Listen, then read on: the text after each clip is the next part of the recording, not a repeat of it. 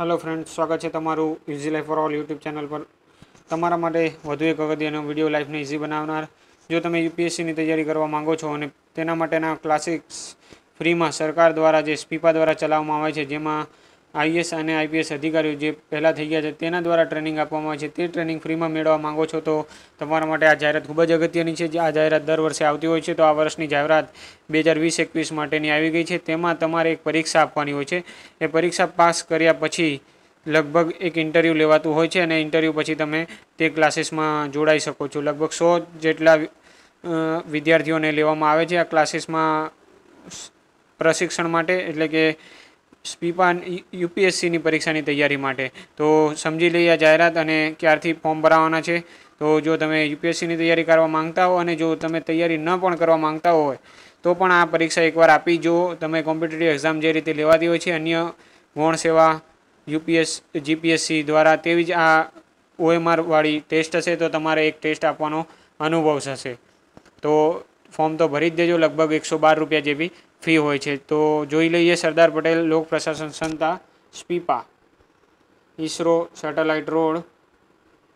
તમે જોઈ શકો છો.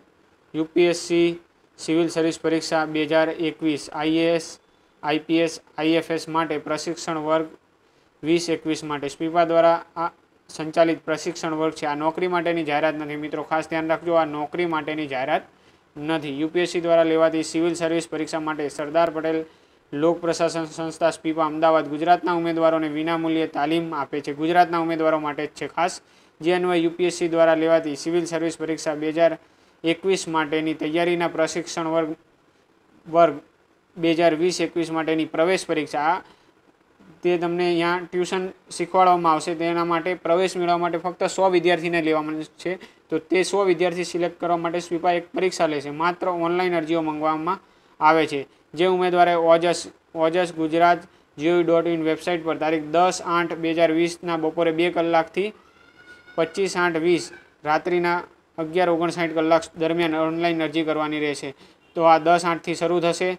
આજે ની તારીખથી ગણી, સાત આઠથી ગણી, દસ આઠથી એટલે ત્રણ દિવસ પછી શરૂ થશે. બપોરે બે કલાકથી ઓનલાઈન અરજી Ojas Gujarat GOV dot in પર કરવાની છે.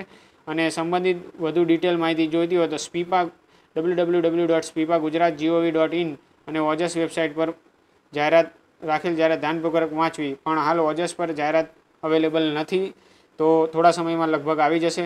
તો તમે એ જાહેરાત ડિટેલ વાંચી અને જો તમે કહેશો, કમેન્ટમાં લખશો, તો અમે તેના પર ડિટેલ વીડિયો સમ કઈ રીતે ફોર્મ ભરવું અને શું શું વસ્તુ જોઈએ છે તે બનાવી દેશું. તો વીડિયો સારો લાગ્યો હોય તો લાઇક કરજો અને ચેનલ પર નવા આવ્યા સબસ્ક્રાઈબ કરજો. આવી ઇમ્પોર્ટન્ટ માહિતી તમને તરત તમારી લાઈફને ઇઝી બનાવનારી મળી રહે તે માટે બેલ આઇકન પર પ્રેસ કરી દેજો. Thanks for watching easy life for all thank you